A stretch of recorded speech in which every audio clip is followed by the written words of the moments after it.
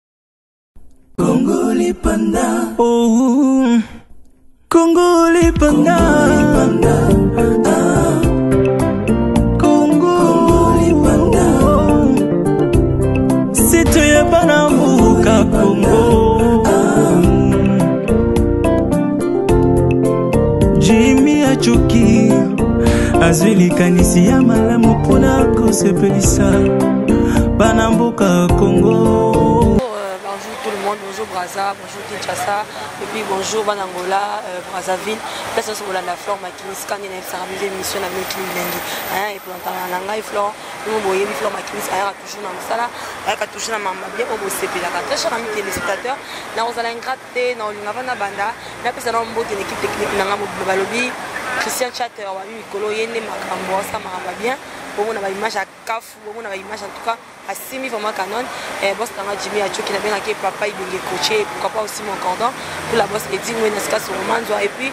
bana kongo lipanda mobimba bana poto bana ngola bana monde entier actualité eza kaka moko balobi euh, baartiste et comédien baza quelque part baza quelque part na bokasi ya ya moko ya bana mboka eh, ya mama ya biso eh, rdc toujours makambo bayo baza likolo me na bi ekendeli wana epesi mwa desordre eh, epesi mwa mwa ntima yango vraimen nayebaki na kotika yango bongo te naza na un chapelet l'artiste tomekama kosua na chapelet malgré tokokoma nano nango mais tokomekama kodeveloppe makambo ya bien Euh, laquelle jeune apesi bonjour bonjour chapelet ouais, donc euh, apesi yo bambote journaliste ya mboka oyo voilà quoi apesi bato nyonso to baotala ngai de partout nga na angola euh, bana nyonso ya libanda napesi bino bambote voilà c'est chapelet l'artiste merci beaucoup chapelet l'artiste boni basango ya groupe na yo papa ya bana ebele Papouche ba bebe nde ni sango ya groupe. Ouais donc euh, groupe euh, atelier de formation eza kitoko ezo marcher toujours kande na yebisaki bino toujours euh, en pleine préparation ya film oyo bozwa kala mingi te intitulé nzela mokuse donc euh, yango mpena kala mingi te oyo bato bazozwa na groupe atelier kitoko bana babi mikolo oyo babenga nga susu dadi te mpo badadi babimi ebele euh, nga nakomi pepe kua te nga sikoyo naomi koko omi koko na pepe babenga nga pepe oui merci beaucoup euh, chapelet alobi asu ah, dadi te me ngai nayebi kaka dadi eza papa mwana nyonso azalaka kaka na papa me na comprendre te abi dadi su te akomi na ye koko merci beaucoup chapelet chapelet sikoyo euh, toyebaki yo na ko rdc tu ne plus maintenant chapelet azokotisa bafilme naye na site nini bien donc euh, chapelet aza déjà na contrat moko na site moko quelconque euh, naolinga na kotanga te nde kaka mikolo naoloba euh, batuna te esika bake na mbonda mpo ntango kobeta baoyoka kaka donc chapelet aza susu na site esika otangi te euh, filme ezosalama ekobima kala mingi te voilà soki ebimi nde tokobeta lisolo ya sika m soki site na bino nayebi merci beaucoup chapelet babi chapelet nde têtu chapelet kobude chapelet fier chapelet alingi kose faire voir yango ozotambola tambola na basiti mwa ebele bozokana na bachef te ezalaka nao nini yango chapelet ayebisa biso mpi kano oyo oyebisa nga pourquoi otambolaka na kani eza na makambo ye pokomi chef coutumier euh, chef coutumier ezalaka jide iliwa napesi bamboto euh, mobutu azalaka tridon euh, na makambo bakani nga na moïse mpo ya moïse esala bademonstration bongwana so nabwaki wana se boma pa ekomi bina serpent akolia baserpent so nabeti boye pa mai ekofungwama eh, donc eh, na ndenge mambo bakani nga na moïse oyebi bayebanga chapelet na mambo te osima bakani c'est comme si ekoya rdc depesaki chapelet kitetu mo baproduction bacontrat chapelet akoma tetu me bayebana babiloko te nyonso oyo pourquoi oyebanga chapelet garçon simple chapelet asola bien mokomama biloko mokati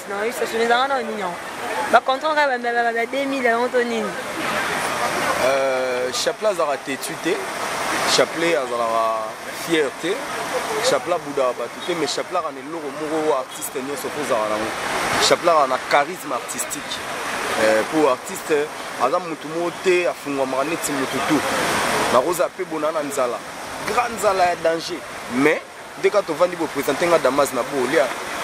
Comprendre eza kaka te ke eh, nasala ye fier te eza charisme artistique. Siko chapeau nazaka nango. Eloko siko nde saka bato ebele po chapeau aza nani artiste aza gambela te. Ke babengi yo boye neti marché de la liberté do babenga yo ye kaka. nani eh. charisme oyo yo mpe eleki babi yo mpe nani olekisi nde charisme yango or papa oyo aza na bana nde otikoloba euh, tout à l'heure que oza pepe est ce que pepe azalaka mwa babilo mobe devant bana non Depuis azalaka tout le temps avec les enfants, tu vois un peu. Mais yo sikoyo chapelet makambo hein. nayebi te yanga mo mpe kutu ekoma olekela ngai non nga mpena nazalaka na nga bien nazalaka bien na bato bazalaka na nga bien euh, moto aza na nga mpe bien te tozala na obongo bana na nga bayebi ke en tout cas laisse tombe donc euh, nga na bien naza bien outa kobeta lisolo moko il paraît que nazo yokana na bato te mpo na fiere yango naolongwalongwa na basite yango naosalasala boye non euh, nabeta lisoo moko parapo na profite na mambo outi oloba edi alemo ayebi mambo naoloba napesi mbote esika ali euh, moni na vie tobundaka mpo na bolamu na biso comprendre soki place moko navandi neti mambo ya napesi bandeko nyonso tu ya eco rdc mbote napesi bandeko ya top vision mbote napesi bandeko ya esepelisa bato ya basite nyonso tu napesi bango eko bazofete 10 000 abonne na bango napesi bango euh, mbote donc euh, ngai nalingaka nini loba trop mpona ya ko rdc nayaki site oyo vraiment oyo esali mpo chapelet lola azala onga nayebi te chapelet azala deya chapelet na ozala chapelet na masolo mpenza ya contrat na masolo mpenza ya bafilme chapelet obandi nde na eco rdc napesi kuna mbote napesi yango mbote napesi mpenza bato tu donc euh, kobanda na bos ntina na moto ya se napesi bino bambote mai naobeta lisolo mingi ya yango te nazolinga naloba pourkui eloo moi yo olobi awa euh, moni soki neti eza lokola lopango bayebisi yo babi yo oya locataire fozwa ndako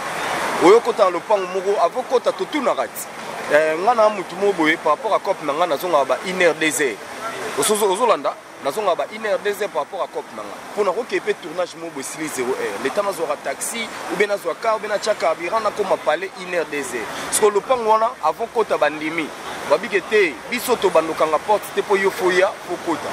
ntango kaka okoti eloko ya liboso na kati ya lopango eglise ezalaka yo siko ntango okotaka yo mo 0 1 oyoki sikoyo bango baa na veye deja bando derange bien bazalaka na terrasse moko pene etyaka makelele epuis sikoyo lopango yango suka na bango okanga porte ezalaka 21 heure mais bango bayisaki yo mpo na yo bakokanga yango ine sikoyo oyebisanga so olobi ke contrat wana esimbi te balukela o ndako mosusu osali mabe okosima te na ndeni parce que ntango obandi na motu na yo ntango mabe ezali bana ndako nyonso bana baswanaka na ndako tu omona pena papa wa bituma babongisi bokaba bolukaka bobongisa mo nde d'autre part mpezaka likambo mbongo nde osala bino mabe bon euh, nga sikoyo mpena nalinga soki obeta masolo wana te mpo na ngai masolo wana eseleka tosi tobeta ebetaki yango trop nasala ye baémission sur yango yango moni nalingi meme pas kosala suba émission mpo nayebisaki yo ngabi kosala nanga émission eza beaucoup plus mpo tolobela actualité ya atelier mingi mpe eza nango yango te mingi eza nango te mai toglise kaka mpo baolinga chapelet eh. l'artiste bayeba ke chapelet l'artiste akendini kaka na mbonda oui merci beaucoup chapelet l'artiste baoyeba toza na biso ngo mpe nango te mpo toglise kaka tu vois toglise mpo toza moto batalako na poto et tout consort bato balingaka yo tu vois ntango otambola ntango biso ozwa baremarque a ah, flore ata na bacommentaire hey, eh, chapelet l'artiste mais so oyebi chapelet mais kama koglisse yango na glisse mpona oyaka bafani na bino merci beaucoup mingi toloba actualité oyo ezali affaire ya voyage ya baninga na bino baza lona na dubai camille te bazo rejoindre belgique epesi pitopale epesi confusion hier j'étais là na réunion na bino euh, pas possible tu vois mambo elobami na réunion c'est comme si voyage ya baninga esali bino bien te eza bino mwa nsima bosepeli yango te yebisa biso non chapelet pourquoi baninga na baza ya bino lelo eza tour na bango lelo mpe eza tour ya chapelet nyonso wana ezobota pourkui euh, ngai na omona yango mabe soki eke moninga mosusu na réunion alobaki ke asepeli na départ ya baninga te na omona d'abord yango te tu vois na sens nini parce que bango ebele ebamaki lobi na réunion tika kolobama te bango ebele bamai na réunion etika kolobama te mpo ngai nayebi théâtre eza na baassociation ebele mais lobi vraiment j'avais vu de jeunes oyo bayaki bazwi eh, volontairement tu vois ya babengi baye mpo nini affaire ya voyage ya baninga nde esali elobisi bato ebele bolobi mamo bachaîne bolobi makambo ya basali ya spectacle pourquoi et pourtant makambo wana elobamaka te soki makambo wana te bokenda bokutana bango livre nde bakutana baloba yango te mais voyage ya dubai ya belgique nde eboti biloko nyonso wana chaple soki ezalaki yo oke batiaki yo na liste wana olingaki oloba nini Euh, certes toprofitaki kaka na occasion wana mpo tolobela makambo wana mais yango ezalaki base te parce que départ ya baninga eza lokola épanouissement ya moninga yo osepeli nango te soki oza motema mabe cestadi toprofitaki kaka tolobelaki likambo ya clan premièrement euh, neti mwa coterie eloko moko eza kaka ke il faut nalobi eh, bino boza 10 bana mais bana oyo bana autorisation ya omona papa ou bien mama baaka mibale seke wana mosusu baa bana mbanda babi ye moko mama ya première dame ayebi bato ya ye moko azotinda bato bazobenga na batelefone mais bino bobengi yango tricage epuis namoni ya mode atikali ya mode pendaki moto ya masolo wana me ya mode ake te yo oyebi banombre de fois oyo yaya akenda ba belgique na ba dubai hey, bawana te kokende komona mare bosolola ngai naobeta lisolo wana te biso beaucoup plus neti bandeko nyonso tu bakeba bandeko na biso tosala na bango mosala moko bafatuka ye mbe euh, bamartine mosantu Bakeyi ba coquette baza wana bakeyi ba Pierrot Ndombasi mbala liboso kutu amona banani bakeyi ba Ariachou petite sœur propre bakeyi ozomona liste eza molai ya bato oyo bakeyi nga personnellement nasepeli départ na bango ah bon seke bango lokola baokende bamasa na nga lokola bafali maswaku baza wana lokola bakeyi seke lobilobi ozala nango mpe biso parce que ntango babengaka quelque part tokenda mpe tokenda mpe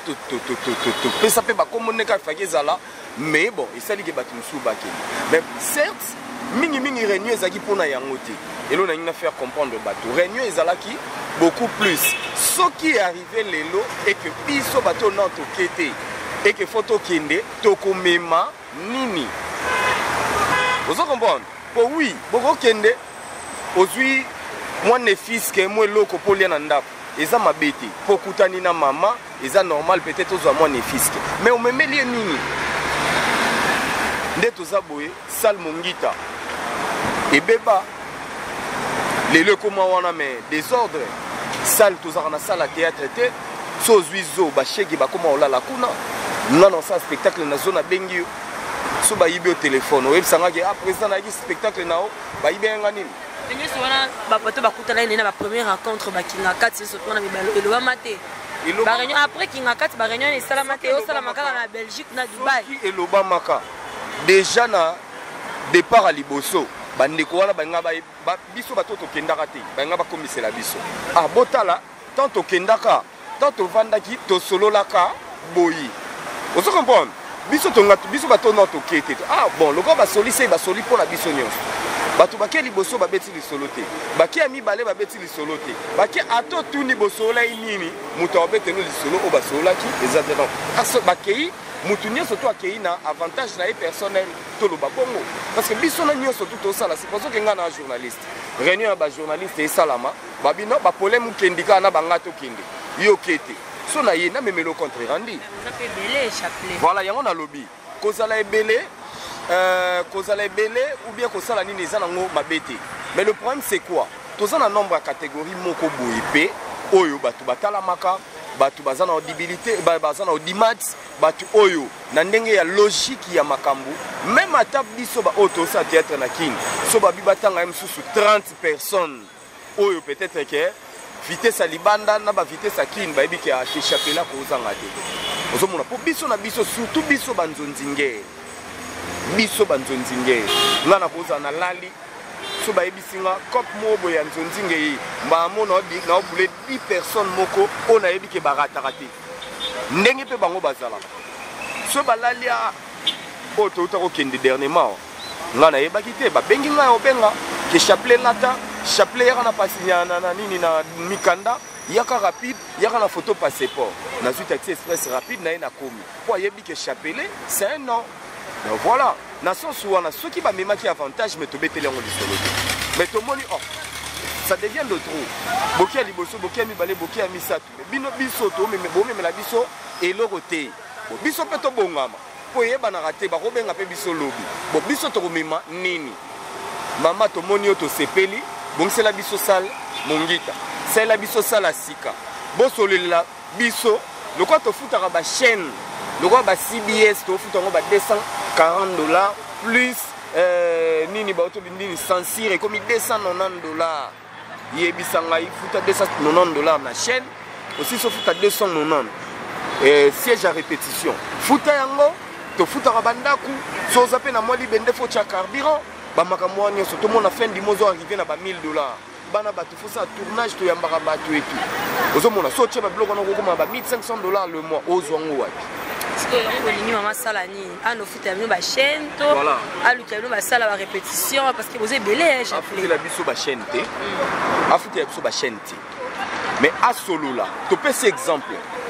donc bandi kokutana mama lelo te banda kokutana mama lelo te eh, ngai na obeta lisolo ya mobutu te ndenge ezalaka kala ke baetidia babima nga moko nakuta na mobutu nalobela ye mais soki bakutani na mobutu azo kokoloba te te nga naobeta lisolo eza correct eza normal ok oyo oh, soki lelo euh, ada napesi bambote esika azali oyo oh, soki lelo euh, eloko moko boye esalami na obima na ye nalobi nga so bato baza 50 bavandi balobi boye bobo na obima na ye mpena nalobi ke tala tala tala donc voilà na mwa sens wana nga soki nalingi naloba nini soki lelo tozwi occasion ya kokutana na mama euh, olive biso bato oyo totikali tokobeta lisolo nini mama ye bongisela biso sale mongita batya yango ke groupe nyonso tu oyo eza na mokanda aza na droit ya kopreste soki apreste recette na ye aza na droit ya kolongola msu 20 na recette mpo etikala na sale ozo comprendre apart yango Salela biso salle ya sika. A part kosalela biso salle ya sika, solola na bato ya ba chaîne batiela biso montant moko normal oyo tokoki kobanda kofuta ole tozalaka na, na chaîne na chaîne baa na prix na bango biso toza na montant moko boye soit bakati 100 dollars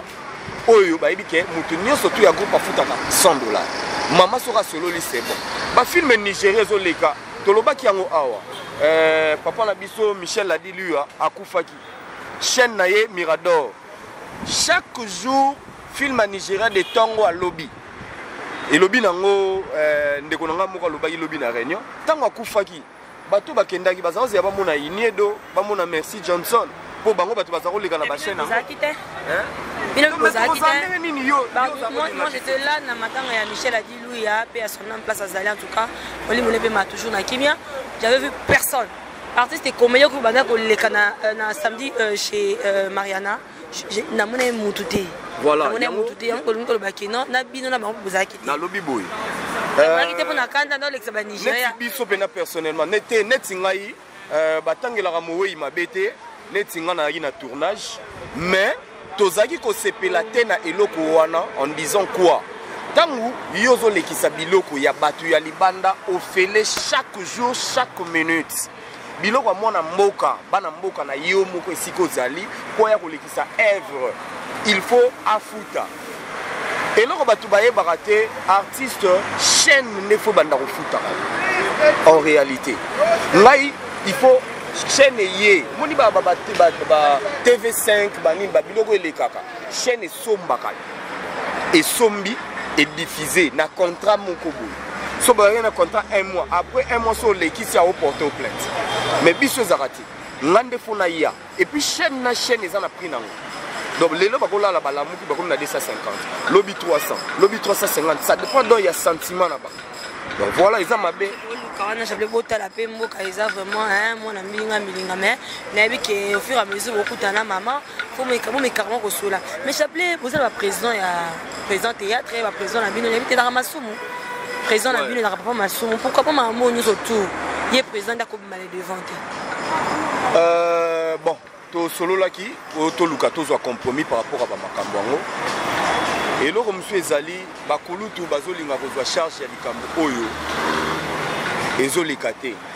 yango ozomona quelque part bazomona biso lokola toza baimpoli biso toza lokola toza lokola bana, bana mabe biso toza lokola soki ndenge nini biso tozaka na besoin ya avancement ya mosala omoni ntango makambo va moko eyaki saisai président nani boye bato bakoma owelela ngai personnellement nazalaki na besoin saisai akoma président te nazalaki kaka na besoin bachange nde nanu moto ya sika voilà cetadi papa masumu aza mokolo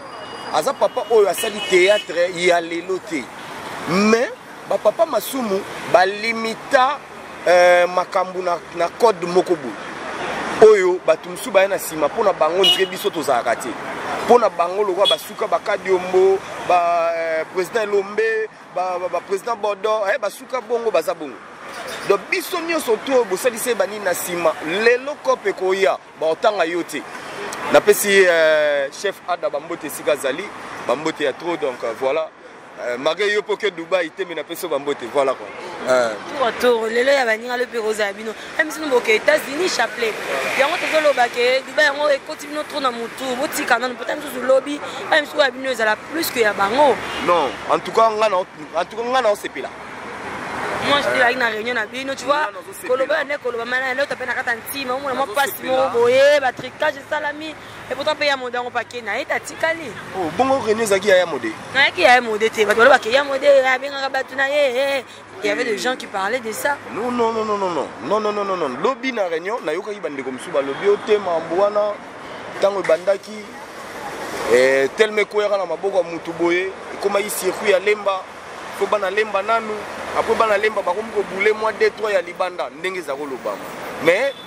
Euh, bamaka mwana waninga obetela yango sete te naninga obeta sete te bandeko na ngai napesi bino bambote esika boali donc euh, napesi bino bambote martine mosantu eh, ah, petit na ngai olala na malili c'est bon napesi bino bambote kua dans les bon tosolola mambo eza très important eh, bandeko nongo bakosala combien de jour baki otourne film toyebi mpe bitso bakendeli te eza film to bake kaka tour na mama bon wana nde nayebi te basurprise oyo bango nde bakoka kobetela biso biso personnellement biso nde toyebeli bandeko bake mpona 10 jours donc soki bakolekisa eza ndenge baotambola na motu donc bango baolandaka lokola moto baotambola na ye mais biso toyebi ke bake mpona 10 jours 10 jours apart mambo ya 10 jours euh, voilà soki bakesala filme bango moko soki mpe Eh, bakima ba mosusu mpe kaka bango moko epuis voilà quoi Merci beaucoup. Oui, merci beaucoup, très cher ami téléspectateur, comprenez, hein, je suis avec euh, Chapelet l'artiste, biso solarara pona musala, vous voyez, on a fait makinis na ya pona musala, tout ça rapenda, on a été pona ma polémique, mais tout ça on a capoté sungana. Comme les acquis na réunion, les artistes et comédiens, bah jaune, tu vois. Et puis il y a faire on a voyage. elobami elobami yana ndenge nayamba moko ya baartiste nga na chapelet l'artiste bana poto boyebi ye epuis aza fan na bino aza artiste oyo bosepelaka na ye eh, chapelet l'artiste euh, na kolinga na tu na yo question oyo chapelet azwi ja sponsor aja na sponsor to ozobundaka yo moko euh, non euh, déjà na kin sponsor aza pasi na kin d'abord sponsor aza pasi kala kutu to biso ozalaka na basinac omona mpena ke président bolamuka bobo wana ba 4 5 logo lelo echangea boza na oyo bwana oyo bwana omona na logo en désordre mais lelo euh, ba brasserie wana nyonso tout edimina c'est-à-dire soki ezalaka 20 na ba, na ba tv ekoma misu yango kaka na 3 4 groupe esili epuis mpo bakota eza vraiment mpasi bokoki kozwa événement Contrat moko boye ah, ya un mois boke bosali carnaval quelque part bosali boye après c'est bon c'est fini mais ya sponsor aye en tout cas eza mpasi alors euh, bana poto bana bangola ya afrique du sud bayebaka juste ola tobunda na baeffort personnel na biso moko baeffort perso donc totravaillera par rapport ya, euh, ya bafane na biso nalinga kaka na profite mpe nabeta lisolo yango lelo oyo les artistes ne sont pas de mendiant ke tosaka mosala mpo nabenga falon eli atyelanga code ovandi boye ah, ana veta air france tyelanga boye non en réalité eloko tobunda culture et art na biso ebongisela biso basokoda basasem babongisela biso to tosinyaka bapapie wana revenu na biso ezongaka osali filme na yo neti na yo tosala bolingo ya gazon boye nake mpenza eza evre na nga nake mpenza fin du mois nazwela yango mbongo omoni ke ata fani atindeli nga te na ofuta ndako na osomba motuka na obokola bana bato bien me lelo tokoma mpo nasala filme mpo nabenga alo shekina mvumbi kota western alo Kailor au mineral kota mwa 2 3 personnes so basali osali mosala osali boye olati bien en réalité nous sommes pas des mendiants mpo lelo bainiede wana na otanga bamercin johnson tosaka na bango mosala ndenge moko epuis so na vandi emo na calcule naleki mpe ebele na joue comprendre mais moyen natya mbanga kote na bango ya te mpo baleki ngai na mbongo epivoilaa mboka mimi fo bokomprenaka mpe ndenge mboka yango ezokende lipa kute mati 300 franc tout le monde bazosilika ozomonake mboka yango ndenge ezokendele mais Euh, chapelet mpe alobi mabe te baoyo baza na mama mpe bomeka mwa kosolola yango baide epesama mai ngai nazokamwa chapelet kosala baassociation ya makambo ya théâtre nayebi te bozalaka na combien d'association omona réunion mosusu esalama ye na lemba réunion mosusu esalama ye na matongi réunion mosusu esalama ye na kasavubu siko ba desordre nyonso moto nyonso tuna ezo créer ka problème okaba bino tout osangana ka esika moko bosala eloko moko te oyebi yango moni transparence na makambo yango eza te parce que boza trop ndambu ndambu euh, moke moke oyebi soki bamusicien bagrand mopao bajb banani bamusicien kutu bakabwana mpo na 2 million de dollar oyo bamizuela na maboko te bayebisi bango kaka mpo na avancement na bino natyeli bino na budget 2 millions eh! baleka baémission bakota baboye ti baboye bapesa bango mbongo ocomprendre ecréa même baproblème cestadire tozo évite eloko ya bongo eya envers biso omoni na place ya mosusu ya okabela nga 5000 10000 oui c'est bien eza mpona artiste azala mpe bien mais sikoyo mpona biso sikoyo ntango okabela nga oyebi nga bongo mwana oyo aza epa na ngai na nsima ayebani te msu mpe eza mpasi mpo ayebana mais soki otongeli biso mama na salle na salle osali biso elo moko ya monene biso toyaka tosali spectacle nasalela sikoyo kinga bafani na nga makambo ya masala spectacle wana ezosenga bozala bino nyonso tout avec votre président masumu omoni likambo boye esengaka namona mama losanjo eh, omona kuna mama losanjo omona kuna boye na boye esala kitoko te siko mama oyoka banani voya mpe eh, bokomona voye mpe mama siko akoyoka nani parce que kuna eza losanjo kuna masumu kuna komona bino bajean vous voye mpe euh, siko biloko basali na kati ote lactis chapelet loka bongo esengaka il faut ozala ensemble reste uni bino moko bovandi mpenza mpenza boye bobi no mama toke mpenza epa mama ata na matanga mondangandanga moi jete etone komona kotya mondangandanga place batya mondangandanga meme nga moko elekelanga na kelasi metia to se retrouva même pas 30 personnes na biso kutu tosalaka teatre me to se retrouvaki wana place balona ye nanga nayoka mawa epuis na retour na biso niveau masanga emelama niveau ya baartiste nde balata esala nga mpasi soki oyebisa nga ya bongo vraiment bosungana te ah. parce que euh. boleki trop ndambu ndambu yango naoloba bana poto ba eh, fanatique na biso ba trop badéchet po mama aza mama présidente fo kozala unie ntango bozoyela ida bongo fo bozala bomoko soki ngai nazalaki president masumu me nasangisi bato soko lokola na president masumu te ata tosali no émission sikoyo estce bolukaka papa masumu ata na ndenge ya privé boye seke bino nde boya batetu parce que papa koloba likambo bana bozoyoka te osani otika bino mais eza parmi babase ya makambo tolobela elobi ke il faut tobanda badémarche faut toke toluka papa masumu toluki ye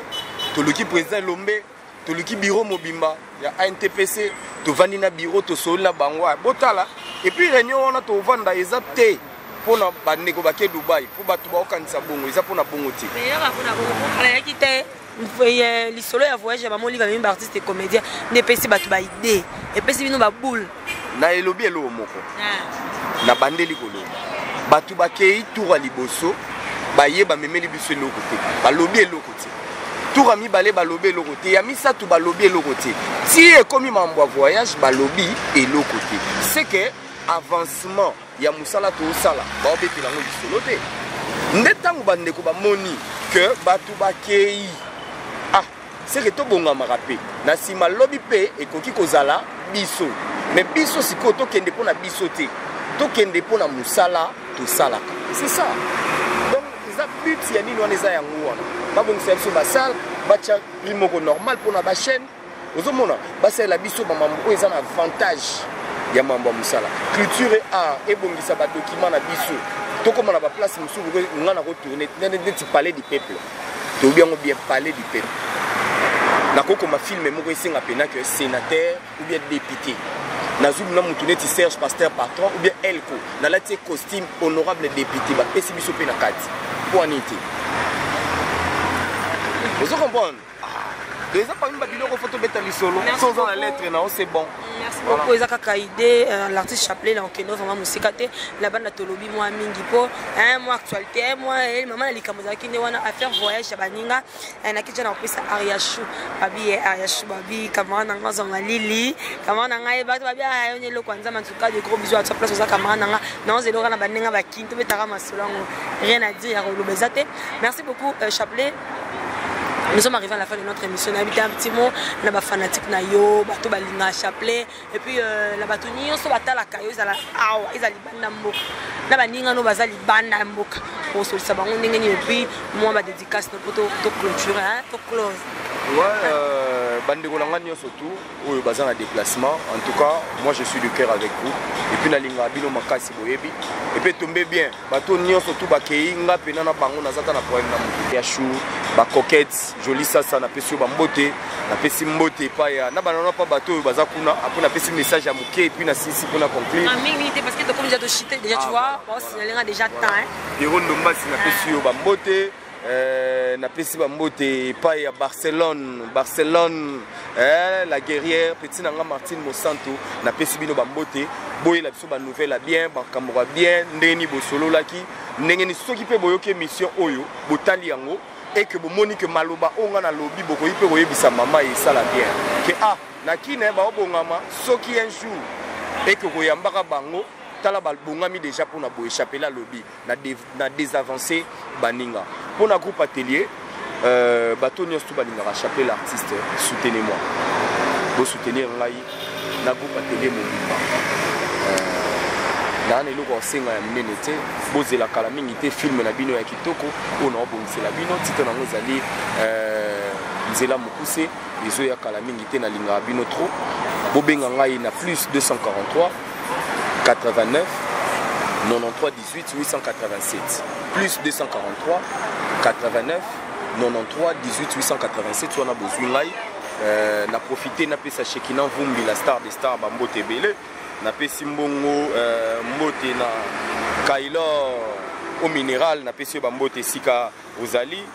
Ana Veta Air France, Ana na Isata, napesi mbote epai ya Aristote Kitambala, eh, Anuarit hmm, général napesi yo bambote esika ozali nabosani bongo te donc baza ebele baza ebele so na bino acontinue na kopesapesa bambote eza bref napesi bato tu bambote c'était chapelet l'artiste voilà. merci beaucoup chapelet l'artiste Euh, pour l'invitation à yo euh, merci beaucoup euh, je tiens à saluer aussi babi magi mbombo qui a créé question bête à ma sœur chérie Mira Yuansa et puis bana poto biso tout Ariachou nazo bandela hein Ariachou balobi euh, ndeko azalaka ndeko akala azalaka te tara yo nasepeli makasi place oza bagros bisous et pourquoi pas aussi ya julia bolowa julia bolowa de gros bisous à toi mira iwasa euh, patricia mokango et puis nakomi na suki émission na nga naozala ingrate te mpo nazalaki na ye Christian Chatter, en tout cas, merci na yo. Pona hein, ba hein, ndinga o matango kitanga et pourquoi pas c'est mon boss Jimmy a choki papa nanga. Mon cordon pour la goal c'est avec cordon nanga ya bien. Hein, bara Florent et Beta en tout cas des gros bisous à ta place aux allez ba salut. Dans ces cas ce moment on doit bana nyoso ko ngoni panda. Maman que j'aime bien maman Pauline Yoko, Flore Bando en tout cas, ba mbote bena lingara bino mingi, je vous dis au revoir.